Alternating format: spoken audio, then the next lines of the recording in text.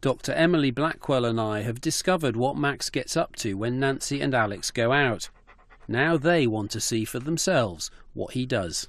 Okay.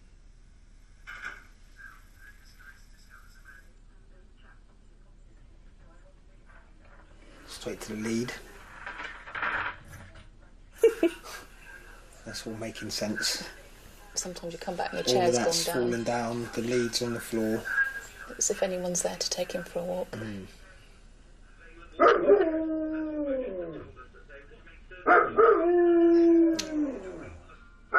He's not happy at all though, is he? Did you do this for the whole hour? On and off.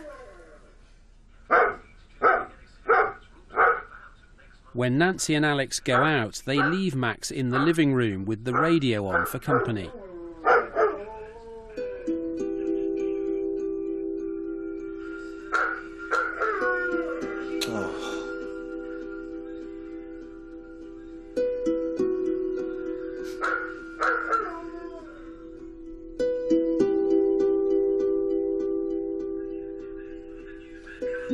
The only time he's laid down. is right by the door. Okay, so that's pretty much it. You're right. It is emotional watching this stuff. Yeah, I, I feel really guilty about leaving him, having seen that, to be honest. It is really important for you to see the behaviour to understand the problem.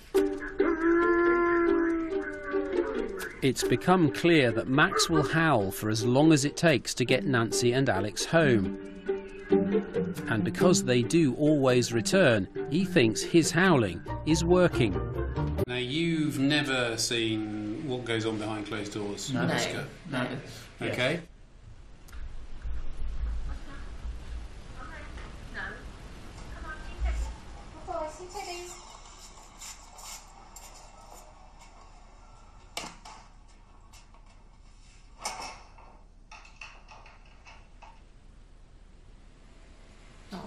Uh, look at his face.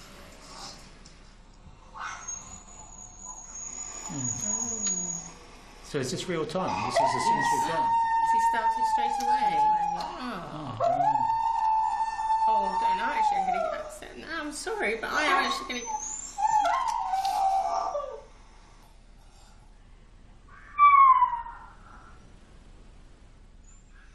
Sorry. Just... No, listen, it's it's w- very upsetting to watch when you haven't seen it before. Yeah. I mean, I know he does howl because we're told, but it's just sad.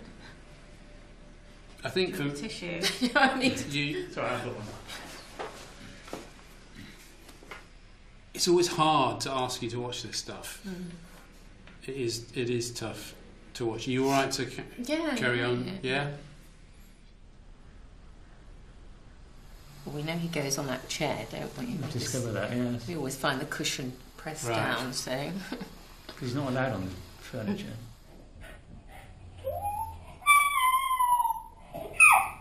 That's where we mm. normally sit in the evening, so he's obviously gone into the room where he's most familiar with us. Well, poor little thing looking out the window. So presumably, whenever we go out, be it for five minutes or two hours, This is what he He's does. just not settled at Yeah. all. he must be exhausted.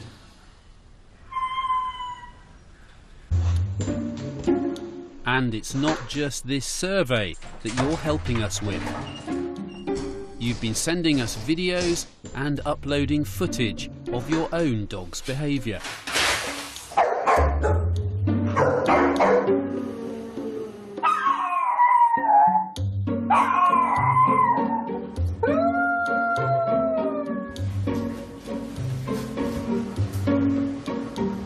Around the same time, this video was uploaded to YouTube. It shows a dog named Bandit making an extraordinary attempt to escape from being home alone. It's been viewed by nearly 8 million people around the world. So, could we use the internet and technology to help transform the lives of lonely dogs? Over the course of two weeks, we filmed Bruno when he was left home alone. Sometimes he was confined to the kitchen. On other occasions, he was given the run of the house. I've asked Dr. Emily Blackwell, a leading dog behaviourist, to analyse the footage, and we're going to show it to Elisha. Stay there, good boy. Have you there? Good boy, stay there. Stay there, good boy. Stay there. So this is where you went out when he wasn't expecting you to go. You don't want to fall down. The bird is down. Lie down. I'm not going down again. That's what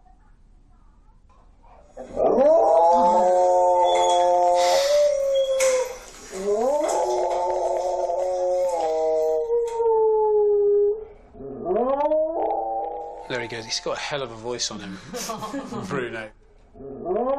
Inside that very big dog is a very small dog Yeah, and I know who kind of needs his mum. delicate. He is. He very needs his mum. Yes, sensitive yeah, soul. he is. Bruno has a set pacing routine, taking in the hall first, then the sitting room, then the kitchen, then back to the front door before starting again. It's just he can't relax, can he? Love him. It's, um, if he's doing that all day, he must be exhausted.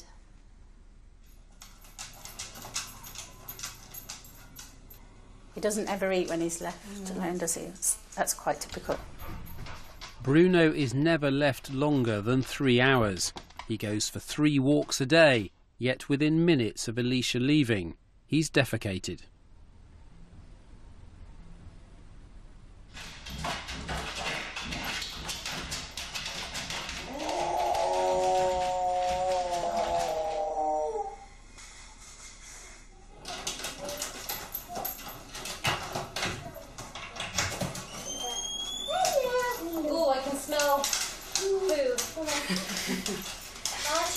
Oh. Oh, not on the rug, is it? No. It's hard to watch, isn't it? Yeah. You alright? Yeah, Yeah? yeah. What are you, Yeah. What's going through your head? Just how moment? quick he like the toileting. It's obviously it's, it's like anxiety, isn't it? Straight away. I just, I just can't believe it was just so quick. He just went to the toilet, like you know, and he'd been out just before, and yeah. Oh! Is that what you imagined was going on? Um, I know, I know he's been howling because people have told me, but it's just different seeing it. It's not nice, and just like how he's chewing the door, it's like really trying to get out and, and get back to me, or what? I don't know what you know.